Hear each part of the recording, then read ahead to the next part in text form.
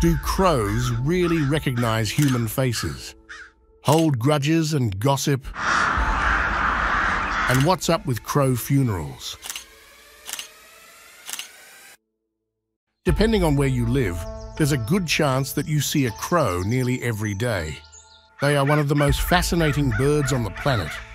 Corvids are a bird family that includes ravens, crows, and magpies, and are incredibly intelligent. Back in the day, people thought the size of a brain determines your smartness. But now, observing our bird friends such as crows, we can certainly say that this is not true. And it seems like every time we learn something new about them, it raises even more interesting questions. Studying bird brains isn't just showing us how smart birds can be, it is challenging old ideas of how smartness evolves in the first place. One of the ways that scientists have proven the smartness of crows is through experiments of observation of how they can make and use tools. Like this one, where a thirsty crow drops stones in a pitcher to raise the water level so it is high enough to get a drink. So is a bird brain really an insult?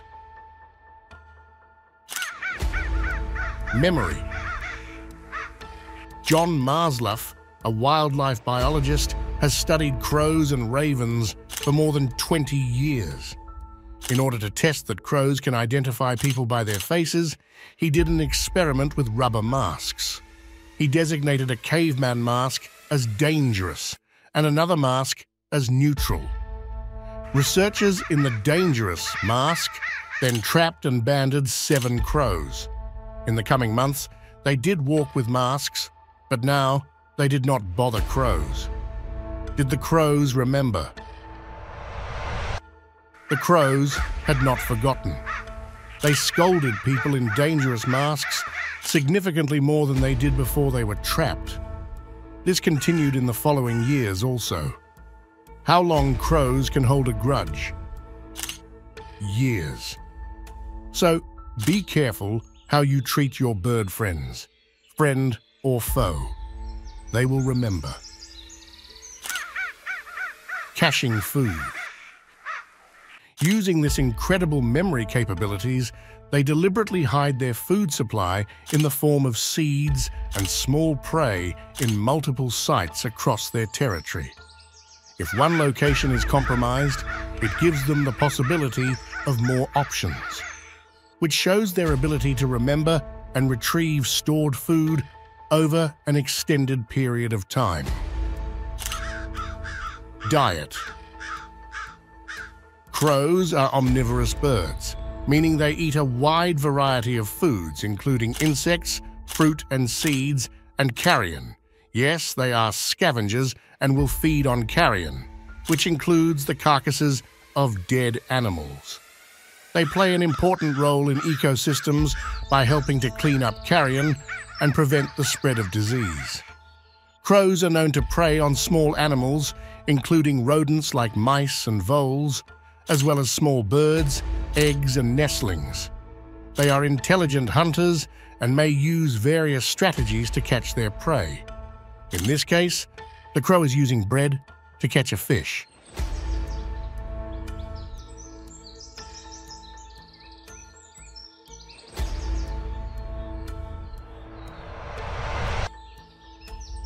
Fascinating.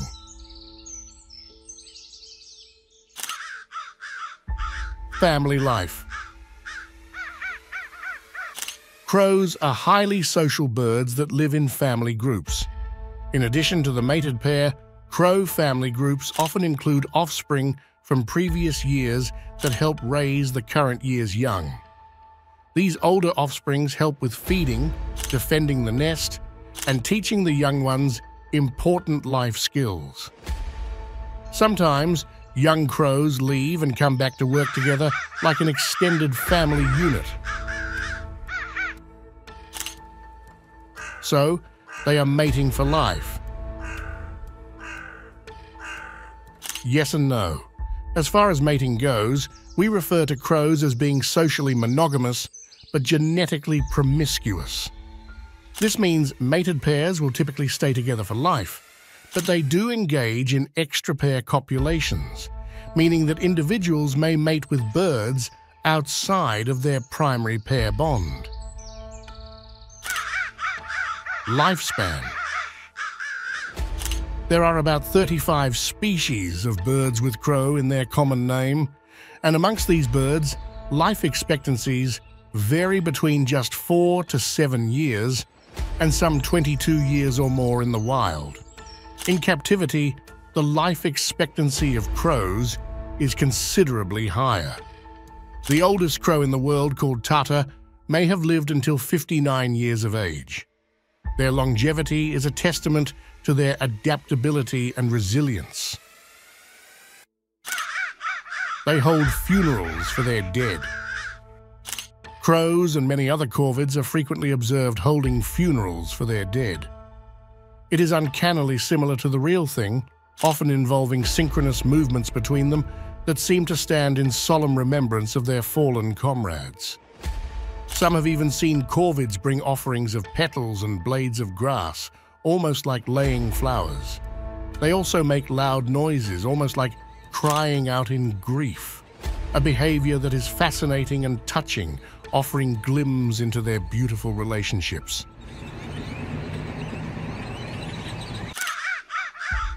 Crows can talk. Crows communicate with each other using a variety of vocalizations, including calls, caws, clicks, and even mimicked sounds from their environment. They can convey a wide range of meanings and emotions.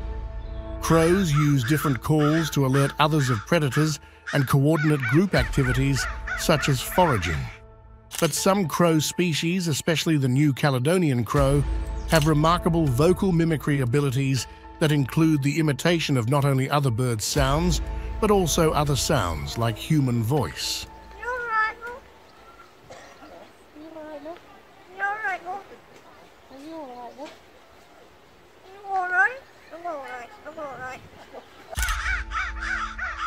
They recognize themselves in the mirror. This cognitive ability of self-awareness has been identified in some crow species, often demonstrated through behaviors like mirror self-recognition. This shows a social awareness in crows, indicating an understanding of their place in social structures and relationships. These intelligent and playful birds sometimes can be misunderstood by us humans. If you want to learn more about nature, please make sure to subscribe. World Cut